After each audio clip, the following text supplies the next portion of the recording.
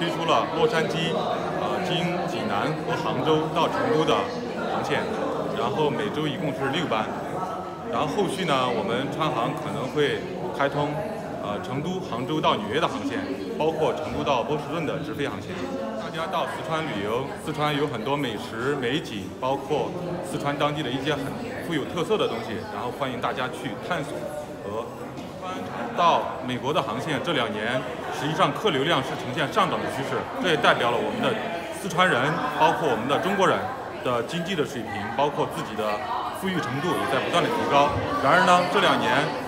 从四川包括全国到美国，比如说到洛杉矶的航线也在逐渐的增加，这就极大的分流了各个航空公司的市场份额。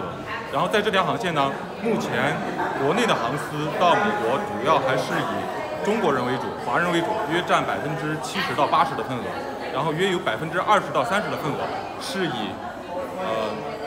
美国当地的人为主。可以。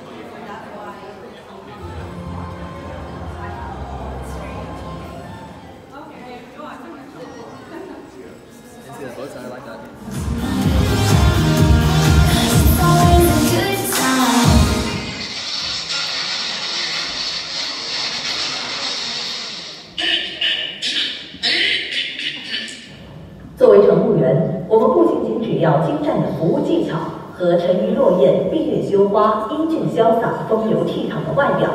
更多的是履行保证客舱安全的最高职责。为了保障飞机导航通讯系统的正常工作，在飞机起飞和下降过程中，请不要 computer and telephone。再说，飞机很快就要起飞了，现在有乘务员。